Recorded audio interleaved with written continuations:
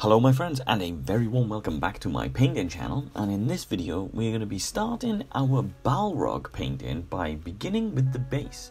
So the Balrog is quite a big big uh, creature in the Middle Earth strategy battle game from Games Workshop. is actually such a big model that I'm going to do this in two pieces. So I'm going to start by just doing the base. Now this model is a fantastic model and it was sent to me uh, by Michael Virtuoso, one of my all-time channel legends here. So I'm going to paint this up and we're going to do this in two pieces and hopefully I'm going to make this look really really cool for him as well and give him a, a, a really cool sort of different kind of video. So we're going to use some of these um, battlefield rocks. So they're just small chip-in bits of cork. And what I'm going to do is, using a little bit of super glue, I'm going to put these in the uh, little recessed areas because what I'm going to do with this model, instead of painting and gluing all of the flames to the base, we're actually going to put some rocks on the base and create a more sort of uh, Moria themed sort of rocky kind of base instead. So I'm not going to paint the uh, the flames on this. We're going to make this a little bit more sort of I, I, guess sort of grey, dingy, darker, so that when we put the Balrog on top, it's going to have this really nice contrast between a nice little bit of colour on the base and this really sort of extreme kind of uh, light, light source on the Balrog. Now once I've glued this down, I'm just going to give this a quick blast with a nice grey spray. So I tend to use a Rust-Oleum grey, um, and I'm just going to give this a few little blasts just around to make sure that this is all covered in my nice grey primer. And once that's done, I'm going to use the uh, Speed Painter, the Army Painter Speed Painter, uh, Speed Paint, sorry, and we're going to use Gravelord Grey. So this grey going over the top of the grey, as you can see, this is going to sit in all of those recess points, giving us a nice dark effect, uh, but also keeping and sticking to that grey tone. So that's all I'm going to do is just cover the whole base in this and then I'm going to let this dry down and then we're going to use a few other different colours and tones and things like that to kind of build a little bit of character through mostly just washes because we're using rocks um, and sort of stone effects we're going to kind of build this into a cool nice looking colourful sort of uh, base but also keep it quite cool and quite uh, stone like and quite cold. So once the um, speed paint is dry, we're then going to use a burnt red just on the shield here of this um, sort of unfortunate creature that has taken a little bit of a, uh, a fall. So we're just going to paint around the inner part of the shield just like so. We're going to use this burnt red because we can always build the colour up should we want to, or we can sort of uh, tone and change things from there. So it's good to have a nice dark base colour because then you can always build colours back up from there as well. So because this is sort of all of the base tones, you don't have to be too careful. And once that's done, I'm going to use one of my favorite colors, my Dark Rust 302. So if you uh, are a Citadel user, you could also use Dryad Bark. They're practically the same. And that's all I'm going to do is just paint this small wooden handle here. Um, I'm using my basing brush here, which is why uh, it's got a little bit of a split in it. Uh, so I would probably advise to just use your um, your detail brush rather than your basing brush for this, just in case, because you don't want to get any of the brown on other parts. But as you can see, I'm being nice and careful, trying to keep everything nice and tied together.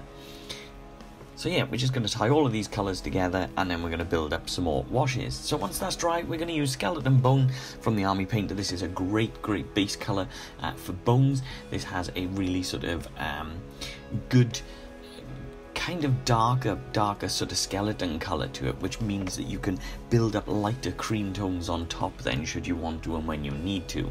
So this is a really great base color. So as you can see, I'm just going to paint across this unfortunate soul here, and we're going to paint across the skull, and of course the rib cage here as well. Just trying to be careful not to get this all over the base. And once that's done, then we're going to use gunmetal, so a nice dark silver color. And this is going to be painted all around uh, the silver area, so the axe here, and of course all around the helmet and the outer edge of the shield as well. So whereas we painted the inner side of the shield with the, uh, the red, we're going to paint the outer edge with the silver. So again, just trying to be careful not to get this on other parts of the base that we've already painted. Just going to take our time to really sort of cover those areas in this color, just like so. So this is going to be a really cool sort of build-up process. When we put these base colors in and these base tones, it's not going to look like um, anything too advanced. But as we start using the washes and the colors and the tones and things like that, we're going to really build this up into a really gnarly, sort of dark, um, kind of grimy um, sort of uh, base. It's going to be really cool. So there's going to be a couple of cool techniques as well, including the spider webs that I'll add a little bit later on. But as I say, just using the uh, the detail brush just to get the silver around the edges of the shield. So just try to be careful not to get the uh, silver onto the red bits that you've already painted. Again, because these are base colors, doesn't matter too much because you could always fix that anyway. Once all of that's dry, we're going to use strong tone. So strong tone is a nice dark, dark brown color. And now I'm going to cover the whole base using this dark, dark brown color. And this is going to tie all of those colors together. Not only is it going to tie all of those colors together, it's also going to bring a little bit of color and a little bit of life into these stones as well. Because the Grave, Grave Lord Grey that we've uh, placed on the rocks looks very flat. So what we're going to do is we're just going to add this little brown color or this brownish texture to it.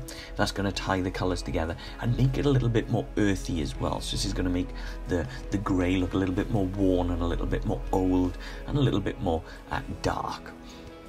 We're also going to use a military shader, um, and with the military shader, again, I'm just going to cover over the um, the skeleton here, and I'm also going to cover over areas of the rock as well. And again, because this is a dark sort of green color.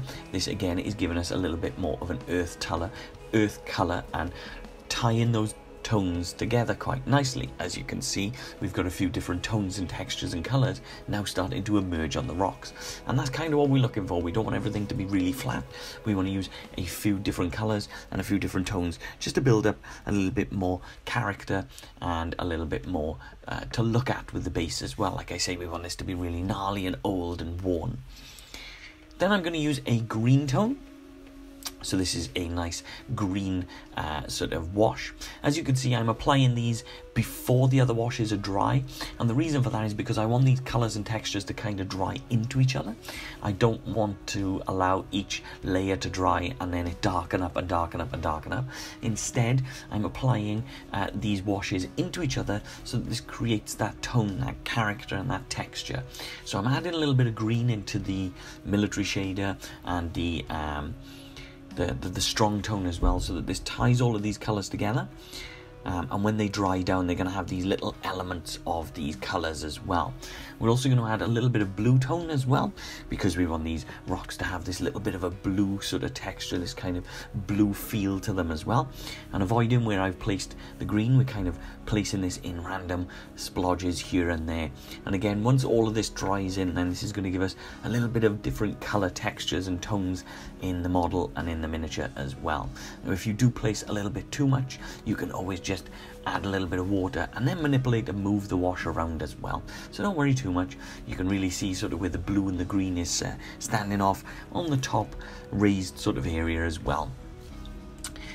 Now, once that's all dry, although it doesn't look it, it is dry, I assure you, it is just that it is a little bit sort of, um, it is dried down sort of glossy, but that's cool because we're going to uh, place a matte varnish over the top later anyway, so don't worry too much.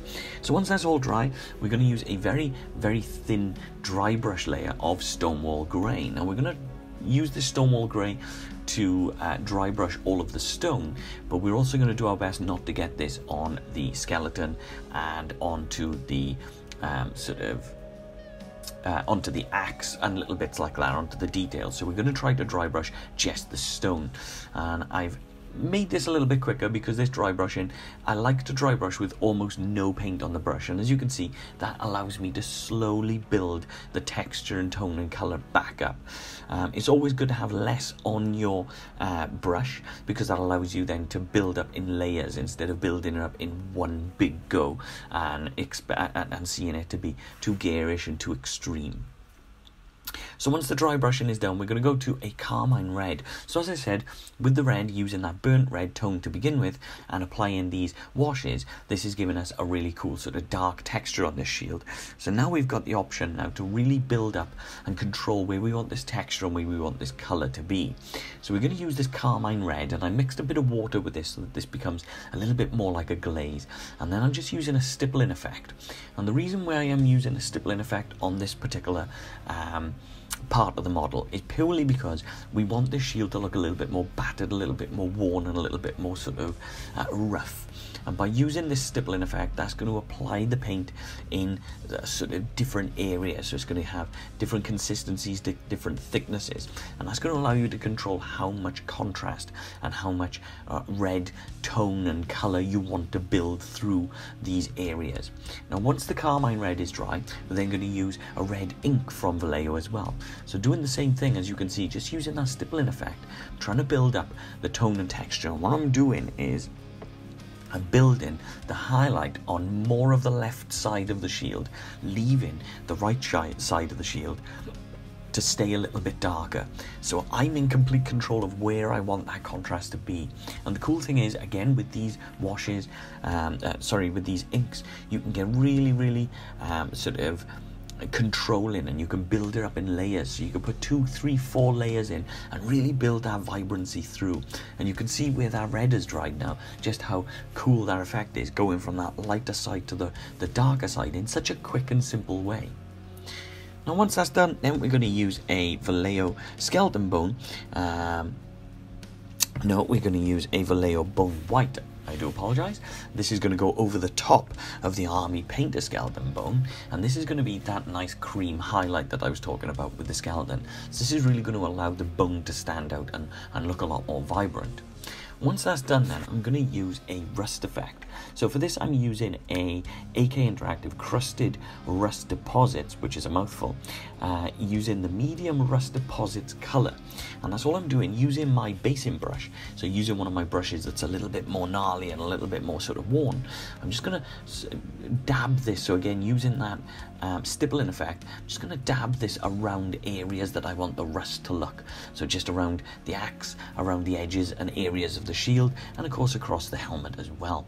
And I'm just using this dab dabbing stippling effect, and then sometimes if there's a little bit too much in the area that I want, I'm just going to use my thumb to just wipe a little bit off as well.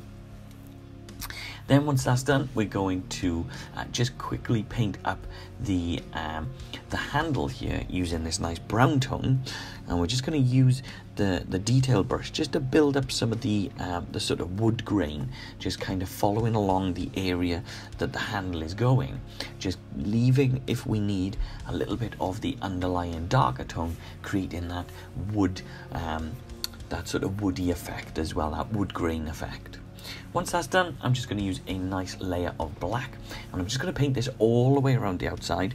And again, with this, this is a personal choice. I like to use black, but I know a lot of people like to use other colors too. So for me, and this particular base, I'm going to paint right the way around using black.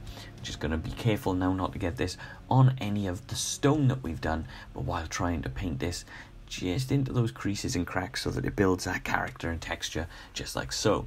And for the cobwebs, we're going to make this super easy. That's all this is, is a quick cotton wool bud. And that's all you do is using your cotton wool bud, you just peel and pull a little bit of the cotton wool out so that it gives you control as to how much you want. And using Mod Podge, which is pretty much just um, PVA glue and water. This is a matte effect Mod Podge, which is fantastic because this means when we place this on a model, it's going to dry down into a matte effect as well.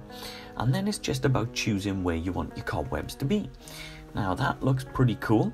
So that's where I'm going to place my first cobweb, and this is what we're going to do. We're just going to apply a little bit of uh, Mod Podge onto the uh, cobwebs and just stick them down and control where we want them.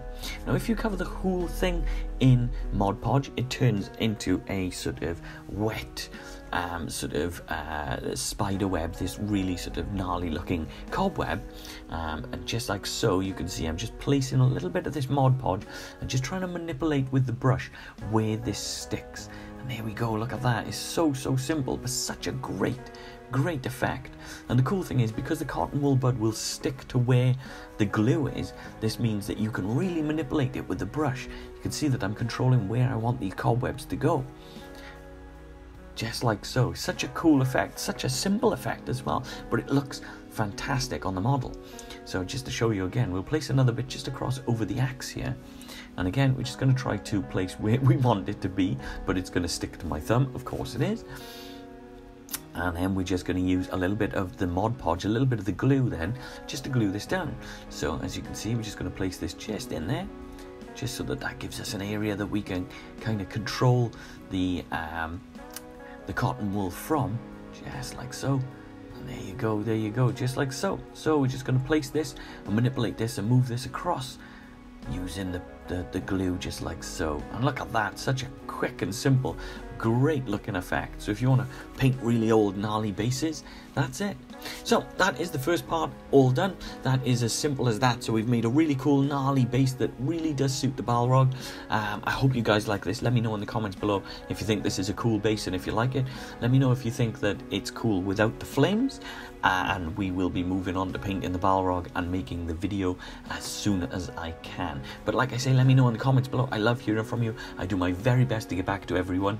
And there's just a little quick look of the Balrog himself. It's going to be fantastic. This is going to be such a cool, such a cool model to have on the channel painted up. I really, really, really cannot wait cannot wait. I'm super excited. So, thank you uh, for all that you guys do. I really appreciate it. And of course, massive thank you to Michael Virtuoso for sending this out because this is going to be fantastic. So, as always, my friends, please take care of yourselves, and I'll see you for part two.